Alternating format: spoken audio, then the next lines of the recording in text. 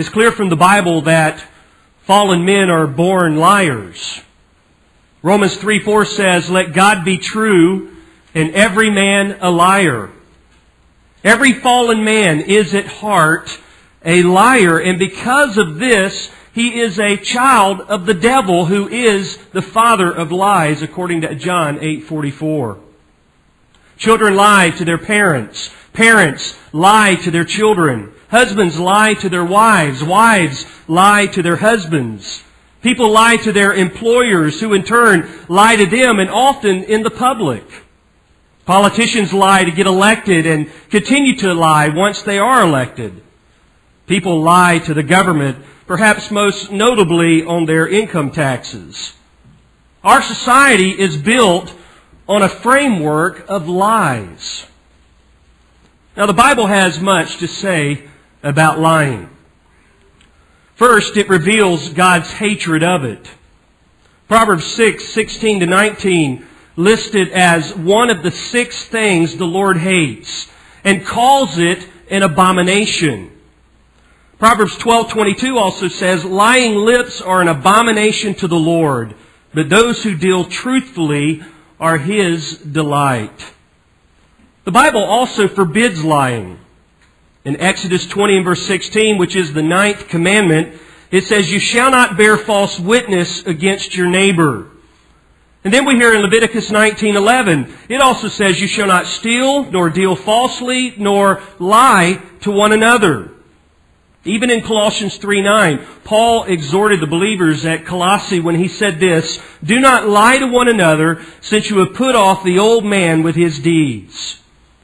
But you know, lying is also a characteristic of unbelievers. It's not a characteristic of believers. That's not to say that believers will never struggle with this, because they struggle with all sin. But it is not a habit of their life. We hear in Psalm 58 verse 3, the wicked are estranged from the womb, and they go astray as soon as they are born, speaking lies. But on the other hand, Proverbs 13:5 says, "A righteous man hates lying."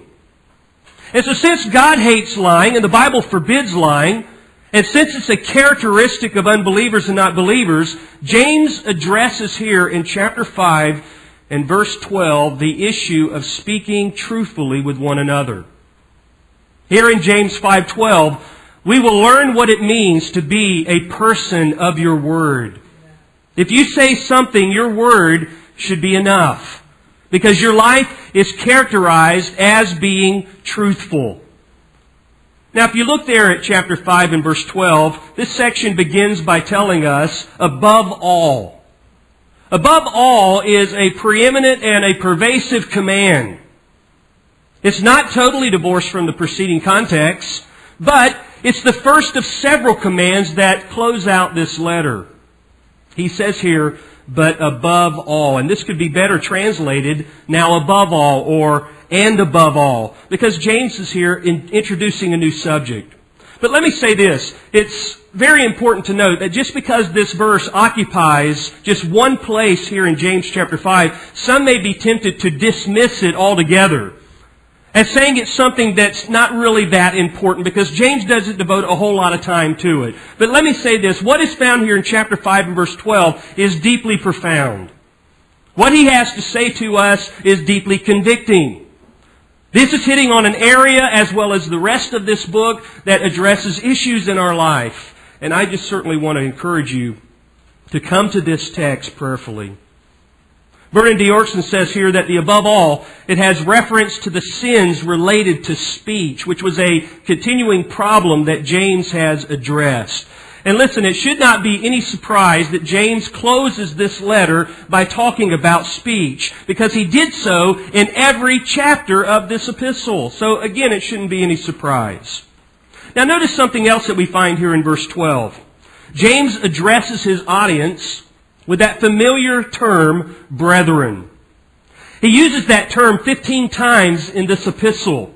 And here he personalizes it. He says, my brethren. And the term here is showing that his attitude was not one of condescension, but it was one of compassion. He is identifying with them.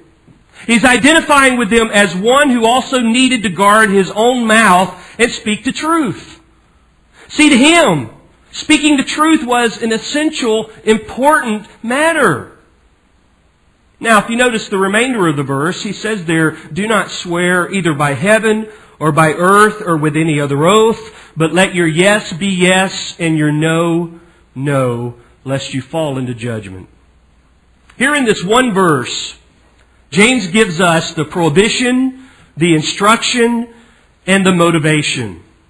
Notice, first of all, the prohibition.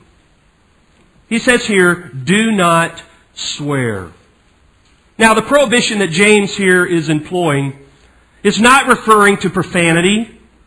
That certainly is picked up over in Ephesians chapter 4, and I believe it's verse 29 when it says, Do not let corrupt communication proceed out of your mouth.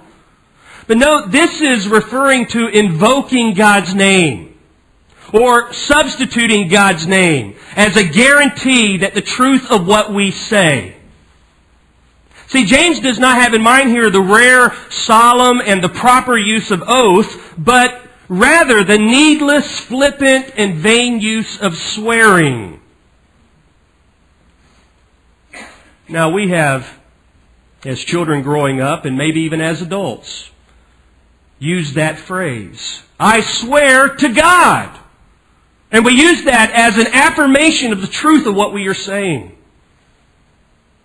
And here James is going to address that whole issue. But before we go any further, let me give you a definition of an oath. An oath is for solemn situations. It's a way of proving the truthfulness of something that's about to be said. And here's the definition. An oath is a solemn appeal to God to verify the truth of a statement or the binding character of a promise. Let me say that again. An oath is a solemn appeal to God to verify the truth of a statement or the binding character of a promise. Again, it's for solemn situations. It's for a way of proving the truthfulness of something that was said. The point of an oath was designed to foster credibility and integrity. And again, we do this today. We take oaths in court. The familiar phrase. Do you solemnly swear to tell the truth, the whole truth, and nothing but the truth, so help you God? That's an oath. We take oaths when we're sitting down with a loan agent and seeking to buy a house or buying a car, you are legally binding yourself by that contract. That is an oath. You're basically saying, I promise to repay this loan. I took an oath on May the 7th, 1988, as I stood before a minister. I stood there with my bride.